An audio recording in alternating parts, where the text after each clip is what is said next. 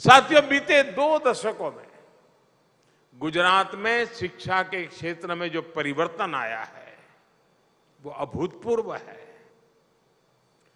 20 साल पहले हालत ये थी कि गुजरात में 100 में से 20 बच्चे स्कूल ही नहीं जाते थे।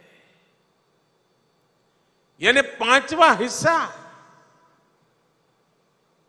शिक्षा से बाहर रह जाता था। और जो बच्चे स्कूल जाते थे, उनमें से बहुत सारे बच्चे आठवीं तक पहुँचते पहुँचते ही स्कूल छोड़ देते थे। और इसमें भी दुर्भाग्य था कि बेटियों की स्थिति तो और खराब थी। गाँव के गाँव ऐसे थे, जहाँ बेटियों को स्कूल नहीं भेजा जाता था। आदिवासी क्षेत्रों में जो थोड़े बहुत पढ़ाई के केंद्र थे, वहाँ साइंस पढ़ाने की सुविधाएँ तक नहीं थी। और मुझे खुशी है, मैं जीतू भाई को और उनकी टीम की कल्पकता को विशेष रूप से बधाई देता हूँ। शायद आप वहां से देख रहे थे क्या हो रहा है मंच पे समझ नहीं आया होगा लेकिन मेरा मन करता है मैं बता दूं હમણાં જે બાળકો મને મળ્યા એ એ બાળકો હતા જ્યારે બે હજાર ત્રણમાં પહેલો શાળા પ્રવેશોત્સવ કર્યો હતો અને હું આદિવાસી ગામોમાં ગયો હતો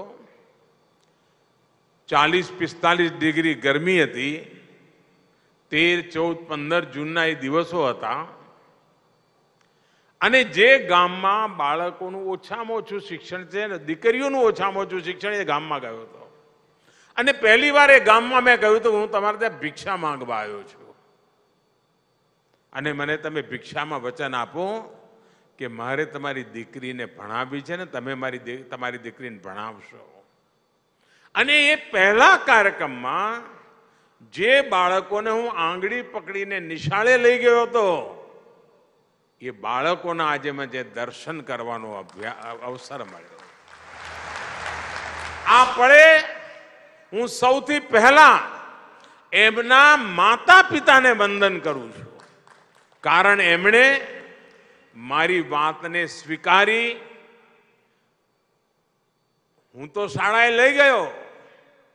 પણ એમને એના મહાત્મયને સમજ્યું અને એમણે બાળકોને જેટલું ભણી શક્યા એટલા ભણાયા અને આજે પોતાના પગ પર ઊભા થઈને આપણી પાસે જોવા મળ્યા.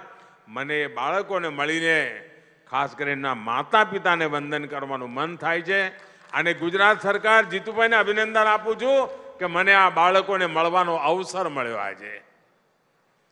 જેમને એકડિયું ભણાવવા માટે આંગળી પકડીને લઈ જવાનું મને સૌભાગ્ય મળ્યું હતું સાથીઓ इन दो दशकों में गुजरात के लोगों ने अपने राज्य में शिक्षा व्यवस्था का कायाकल्प करके दिखा दिया है इन दो दशकों में गुजरात में सवा लाख से अधिक नए क्लासरूम बने दो लाख से ज्यादा शिक्षक भर्ती किए गए।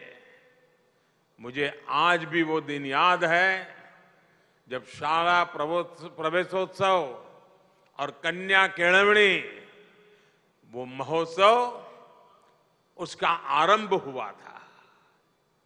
प्रयास ये था कि बेटा, बेटी जब पहली बार स्कूल जाएँ तो उसे उत्सव की तरह मनाया जाए। परिवार में उत्सव हो, मोहल्ले में उत्सव हो, पूरे गाँव में उत्सव हो, क्योंकि देश की नई पीढ़ी को हम शिक्षित और संस्कारित करने का आरंभ कर रहे हैं। मुख्यमंत्री रहते हुए मैंने गाँव गाँव जाकर खुद सभी लोगों से अपनी बेटियों को स्कूल भेजने का आग्रह किया था। और परिणाम यह हुआ है कि आज गुजरात में करीब करीब हर बेटा बेटी स्कूल पहुँचने लगा है। स्कूल के बाद अब कॉलेज जाने लगा है।